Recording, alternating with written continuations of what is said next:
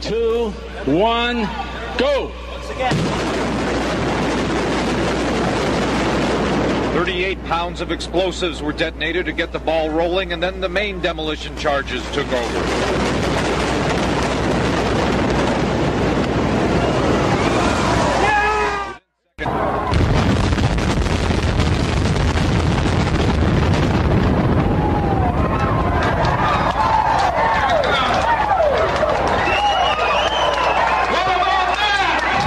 Another view from the air shows just why taking down the building is known as an implosion.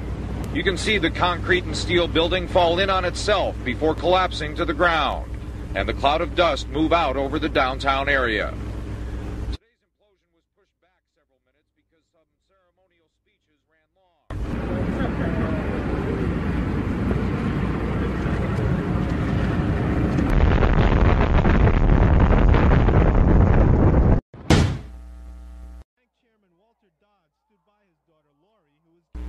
Two, A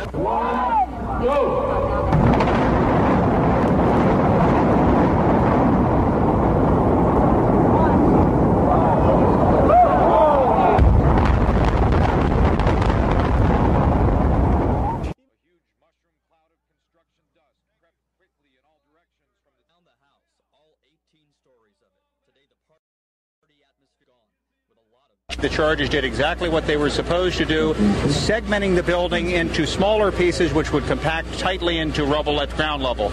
No pieces of the debris went out beyond the sidewalk, which we predicted because we spent so much time making a moat around the thing so it would fall in place and was a perfect shot. I'd say 99.9 was great.